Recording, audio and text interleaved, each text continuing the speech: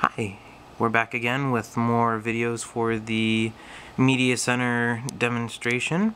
We're going to go into the music section in a bit, but I just wanted to highlight one of the neat features of XBMC is the screensaver.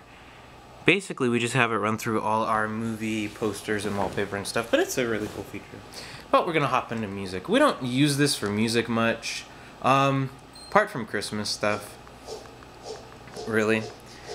But it's still cool because you can run things like Sky.fm, radio, SoundCloud, digitally imported, Pandora, and you know party mode where you can let people pick what music they want to play or insert an uh, iPod or a Zune or anything without being able to mess with the rest of the media center. And it really is quite neat. Um, if you've got all your stuff tagged right, it will show artist metadata and things like that. But you know, for our obscure Christmas CDs, that doesn't really happen. So we're just going to stray away from that a bit. I will show you how Pandora runs. Quite nice. Um, we rarely use Pandora. I'm pretty sure I've got my login saved. If not, who knows. Um, see, we can just pick a lot of stuff. And it runs quite nice. As you can tell, it works beautifully with the sound system. Oops.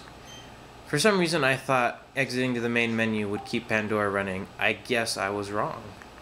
So let's try that again. Just doing above and beyond radio. Give you a good demo of how it works.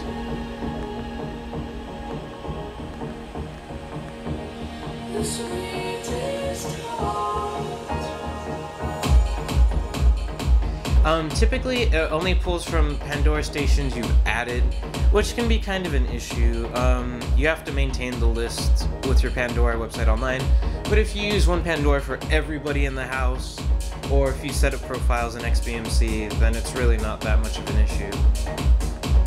We're going to start a quick mix real quick to show you how that works too. Does some good stuff, pretty much. It's basic Pandora features. Yeah.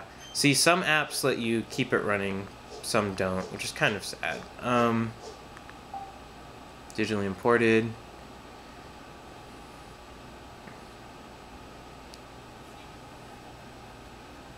When it wants to load. Also, another benefit to having this as Media Center is if you really want to use mouse and keyboard. Um, I'll be experimenting soon with the Leap Motion, if you guys have ever heard of that. I've got one pre-ordered. I'm going to try and use it as a touch sort of um, wireless interface instead of mouse keyboard, which would be really neat if I get that working. If I do, I'll be sure to let you guys know and show it. And an advantage of having a computer is you can basically play anything. I mean, this runs Flash, unlike uh, Apple TV or some other things that runs any file format you can think of. Um, and you're really not limited by anything. Only limits are how powerful the PC itself is, but it is much power more powerful than any media center you can buy on your own, pretty much. I'm sure you could build something better, but you know. There we go.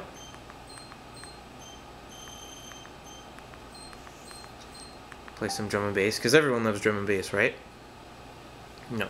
But XBMC also has a video section. We don't use that much, but if you're someone who loves twitch.tv, um, speed demos archive, day 9, things like that. Oh, doesn't want to work for us today. See, that's why we don't use the music. Music and videos are kind of hit and miss, but those are add-ons. Those aren't built into XBMC. So they don't uh, function as seamlessly or as well as TV shows and movies do. But I think that's a good sort of overview. Um, see, here's the video section got TED Talks, a lot of things. Here's weather. Weather's kind of hit and miss, but for the most part, it lets you know, you know, before you head out the door, what you're gonna expect. Images, you could set it for comics or things like that. We usually don't, because like I said, this is mainly used as movies, TV, games, and um, the odd video stream or something like that, Pandora. But next time we are going to go into the games, so stick around and thanks for watching.